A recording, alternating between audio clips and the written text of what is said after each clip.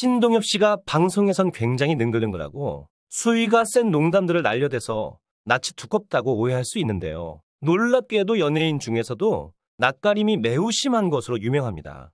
방송에 같이 출연하는 연예인들과도 사적인 연락을 하지 않거나 프로그램 출연 당시에는 연락을 하다가도 프로그램이 종영된 후에는 웬만한 경우가 아니면 연락을 끊는다고 합니다. 연예인 친구도 홍석천, 안재욱, 강호동, 조혜련 등 예전부터 친했던 사람들을 제외하면 별로 없다고 또한 사적인 술자리에서도 방송에서와 달리 거의 말을 하지 않는다고 합니다. 그는 왜 이런 성격을 가지게 되었을까요? 또한 그는 방송에서도 목소리를 크게 해서 오버하거나 거친 언사를 사용하지 않으면서도 사람들을 웃기는 독보적인 재능을 가지고 있는데요. 그렇게 된 데에는 가슴 절절한 사연이 있었습니다. 그건 과연 무엇일까요? 지금부터 소개해드리겠습니다. 연예인으로 생활한 지 25년 만에 SBS 연예대상을 받으며 눈물나게 하는 말을 합니다. 어머니를 일찍 여윈 그는 미운 우리 새끼에 출연한 연예인들의 어머니들을 보면서 자기 어머니도 이런 마음으로 나를 생각하셨겠구나 하며 돌아가신 어머니의 마음을 짐작한다고. 늘 어머니에 대한 그 갈증이 있었는데 미운 우리 새끼 녹화하면서 어머님들이 아들을 사랑하는 그 모습을 보면서 아 내가 생각했던 것보다 우리 어머니는 나를 정말 많이 사랑하셨겠구나라는 생각을 매주 하게 됩니다. 신동엽 씨의 어머니 얘기 좀 해드릴게요. 너무 가슴 아프면서도 아름답습니다. 신동엽 씨의 어머니는 아주 오랫동안 몸이 아파서 고생하셨습니다. 어린 시절부터 신동엽 씨와 형제들은 집에 가서 엄마 밥 줘. 라고 소리쳐 본 적이 없다고 해요. 오히려 투병 중인 어머니를 깨우기라도 할까봐 조심조심 부엌에 들어가서 음식들을 찾아 먹고는 했답니다. 그러다 신동엽 씨가 22살 되던 1992년에 그동안 앓고 있던 간염이 간암으로 발전하여 치안부 선고를 받으셨고 3년 후인 1995년에 50대의 젊은 나이에 돌아가셨다고 합니다. 어머니가 시한부 선고를 받으신 당시 신동엽 씨가 막 데뷔하자마자 스타가 되었을 때였어요. TV에 신동엽 씨가 나오면 그의 어머니는 같은 입원실에 있는 사람들에게 내 아들이라며 자랑하셨고 그가 병원에 찾아가면 모든 분들이 반가워하고 좋아해 주셨답니다.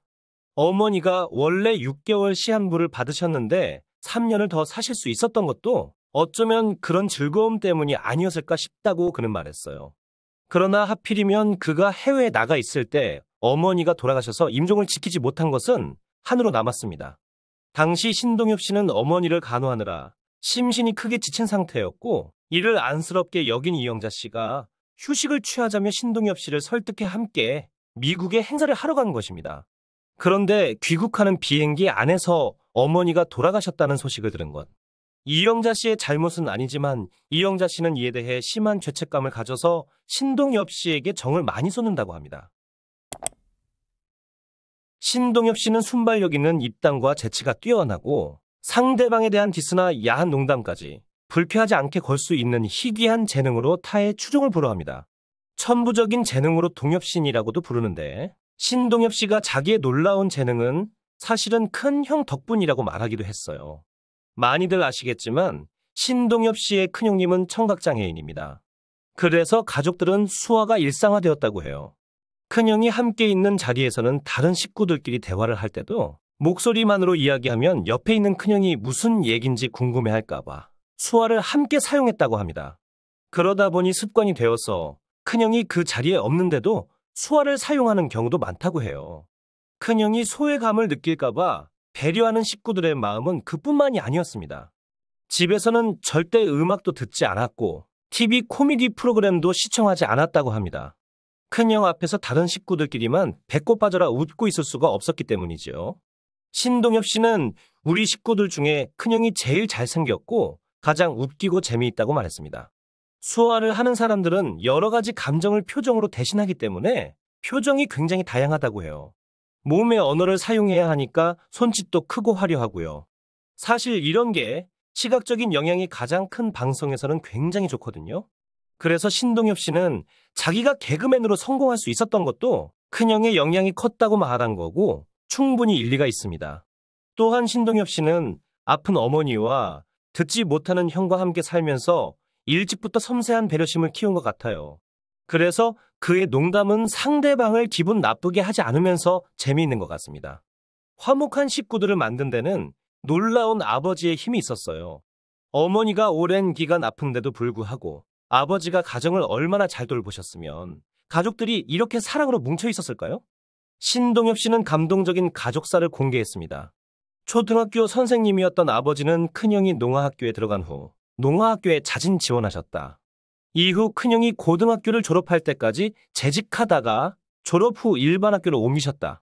큰형에 대한 지극한 사랑과 염려 때문에 아버지는 농아학교 선생님을 했고 누나도 특수교육과를 전공했다고 해요. 마지막으로 아버지의 가슴 절절한 사연을 말씀드릴게요.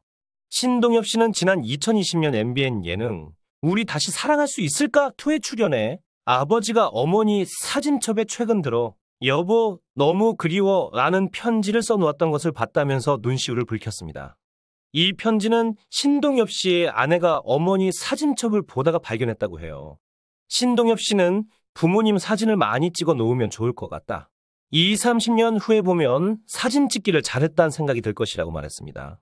지난해 2021년 KBS ETV 불후의 명곡에서는 이런 말을 하면서 눈물을 글썽였어요.